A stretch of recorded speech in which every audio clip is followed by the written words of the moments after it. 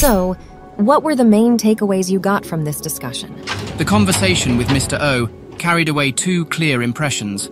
One was that to formulate your aim regarding the possibility of having to relive your life at death, and the second idea was that unless you saw the nature of life, you could not get more meaning in living it. I realized that he had answered the question I had not asked, namely, how can life have more meaning?